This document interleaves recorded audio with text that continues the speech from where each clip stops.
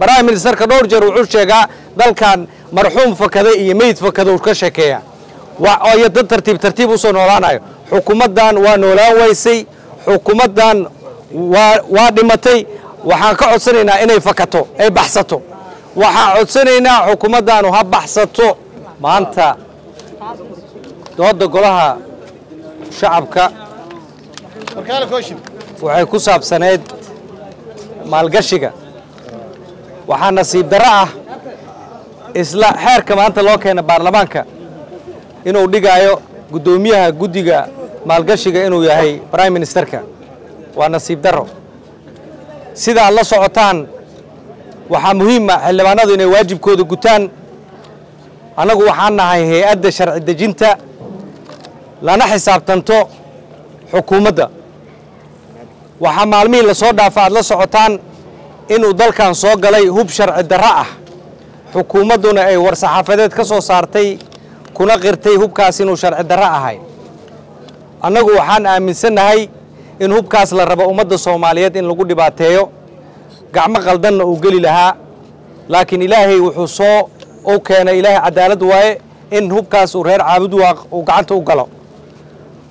Anigoo ka mid a xildhibaanada abaabulaya macawiisleyda waxaan aaminsanahay hubkaas inuu gacan qaldan uu ku socday uu shabaab u geli lahaa laguna baabi'i lahay ciidamadaas macawiisleyda ah iyo ciidamada xoogga dalka oo daruufaha adag ku shaqeeyo oo furimaha dagaalka ku jiro. Arrinkan waa arrin weyn. Saakay waxaan la hadlay ugaaska baasha mareexaan waxaan ka waraystay siday wax u dhaceen. Waxaan baaq u dirayaa reer caabud waa qorta marka koowaad. Hubkaas inuusan gacantooda ka bixin. Hubkaasu yahay hub soomaaliyeed lagu difaaco dalka soomaaliyeed. Waxaa kaleeto aan ugu baaqayaa hubkaas inaana loo isticmaalin dagaal beeleed uu ahaado hub dalka lagu difaaco waana u hambalyaynaya inaa hubkaas gacanta ku dhigeen waxaa kaleeto oo aan rabaa inaan taabto arrinta canshuuraha lagu soo lagu soo rogay ama la rabo la soo jeediyey ee xukuumaddu soo jeedisay khaasatan wasiirka maaliyadda oo ah e v c da muwaadin saddex doolar maalintii ka qaato xamaali in la dhaho canshuurkeen ma qabato. Waxaan la soconnaa in dekedda lagu canshuuro shay walbo dalkan soo galo boqolkiiba shan. Marka mar labaad in la dhaho waa la canshuurayaa sharciga ma dhigaayo. Prime ministerka iyo xukuumaddiisa waxay ahayd inay ka shaqeeyaan fiscal federalism oo ah in la mideeyo canshuuraha dalka. Taasna way ku fashilmeen waxaa sidoo kaleo la soconnaa in beele dagaal beeleed uu ku soo batay dalka. Taasna waa fashil kale. Sida aad la socotaan dalka deriska nala ah ee kenya muwaadiniintii waxay gaareen inay galaan baarlamaankii dalkaas ay gubaan. Annagu diyaar uma nihin in aqalkeenna la soo galo maadaama shaqo kuma lihin. Waxa meeshan fashilka ka taagan yahay waa xukuumadda oo ra'iisul wasaaraha oo xamsa uu ka yahay prime minister. Ayadaa fashilantay hadday ahaato midaynta ummadda soomaaliyeed hadday ahaato in loo adeego ummadda soomaaliyeed dadka muqdisho keligeed canshuur lagama qaadi karo. Annagana raalli kama nihin baarlamaanka canshuurta shaqo ku leh. Waxaa kaloo rabaa warkayga inaan ku gebagabeeyo waad la socotaan waxa ka dhacay dalka kenya inay shacabkii baarlamaanka galeen.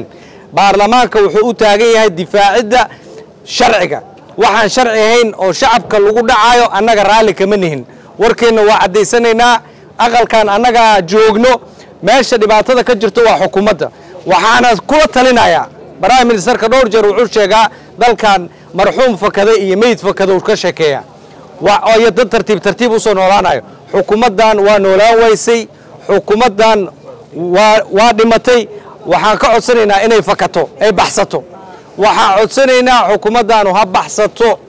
Dalkan wax uga haray ma laha albaabadii in laysku soo jabsadaa hartay annagu waxaan u taagannahay inaan shacabka matelno shacabka matelnana culaysyo badan ayaa soo koray.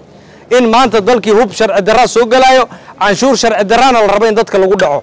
Taasna ma yeelayno mana aqbalayno annagoo ah xildhibaanada federaalka. Ma aqbalayno in gurigeenna ee shacabkoo mudaaharaada ay noo soo galaan. Meesha ay galayaan waa halkaas. Intaana laidinku soo gelinna waxaan idinka codsanayaa inaad si sharaf leh isku casishaan waad aragteen dalka kenya waxa ka dhacay. Xukuumaddii o dhan waa la kala diray kabinetkii marka mar labaad mar saddexaad ummadda soomaaliyeed ha ogaato xildhibaano xisaabtamaya inay u joogaan. Halkan dadka soomaaliyeedna midnimada waa inay ka shaqeeyaan iyo nabadda. Waa mahadsantihin shirkadda somnet telecom waxay ku haysaa 4 g internet xawaaro sare leh iyo xirmooyin qiimo jaban. Somnet telecom waa isgaarsiinta jiilka cusub. Shirkadda beeko waa shirkadda ugu weyn ee bixisa adeega korontada soomaaliya. Beeko waxa ay koronto siisaa inta badan koonfurta soomaaliya sida banaadir jubbaland hirshabeelle iyo koonfur galbeed. Beeko waxa ay siisaa adeeg koronto oo dhammaystiran dhammaan toddobiyo tobanka degme ee gobolka banaadir iyo goobaha ugu waaweyn magaalada muqdisho sida airboorka aadan cadde dekedda muqdisho iyo dhammaan safaaradaha iyo hay'adaha caalamiga ah